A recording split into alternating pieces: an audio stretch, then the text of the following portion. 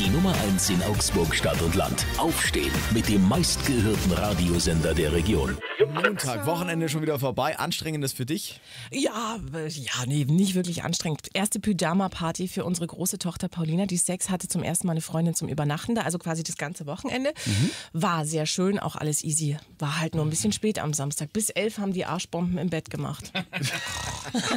Wir wollten dem Nebel entfliehen und wollten in die Berge fahren. Ja. Und äh, haben dann meine Tochter Hanna, die ist jetzt drei Jahre alt, hinten im Kindersitz angeschnallt und es ging los und wir saßen um 10 Uhr im Auto und ich war sehr froh, dass wir das erste Mal nach dem Frühstück so äh, schnell im Auto saßen und losgefahren sind. Richtung Sonne. Ja, Richtung Süden runter, bis 17, an Hurlach vorbei und äh, Landsberg und der Himmel tut sich auf und es gibt einen strahlenden Sonnenschein. Blau, blau, blau.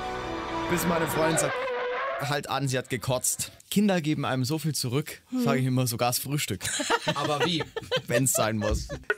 Wenn du in der Stadt parkst, dann kannst du das ja auf zweierlei Art und Weise bezahlen. Du kannst entweder einen Parkschein lösen, Ganz den, normal bezahlen. den du einfach Ja. hinter die Windschutzscheibe klemmst. Ja, ne? ja, ja, ja. Oder aber du kannst es auch per Handy machen. Handy parken, Easy Park heißt das Ganze. Mhm. Da steht noch immer diese 0800er Nummer auf weißen Schildern überhalb der Parkscheinautomaten. Ja. Das Problem ist nur, ich habe jedes Mal Angst, diese Nummer zu wählen. Warum hast du Angst? Ich habe Angst, die Nummer zu wählen, weil ich weiß, jetzt spricht sie mich gleich wieder so an.